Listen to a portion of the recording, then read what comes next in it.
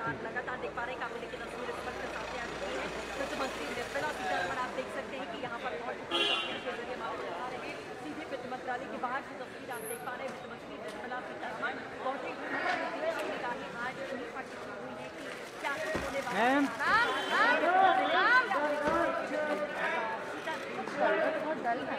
तस्वीर के ज़रिए देखिए पूरी की क्योंकि यहाँ पर के नौ पंद्रह को समय बताया जा रहा है कि